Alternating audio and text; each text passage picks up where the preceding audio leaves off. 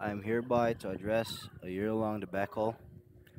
It is a video from Grianes, formerly known as Yellow Leader, formerly known in Roblox as ExfoPug123. The video in question is I got Krat 26 T34 and then I accidentally crashed it into the water. First and foremost, how fucking dare you have the Audio City to steal the T-34 that I created with my own hands right after killing my men and giving me life-altering injuries.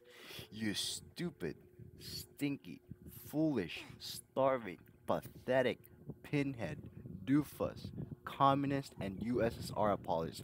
How fucking dare you steal my hard work from me? You crossed the wrong pal, pal. You ain't gonna stand a chance for my ultra mega base giga chad sigma male alpha powers, pal. I bet your Soviet equipment are going to disintegrate like most communist countries in the late 1990s. Killing my men and making me disabled? Fine, I'll take that. But steal my hard work? Now that's where you've crossed the line, you goofy ass Soviet ultranationalist. You think you have the right to just go off road with that, with my very own creation? You felt, you probably felt like you were on the top of the world, don't you?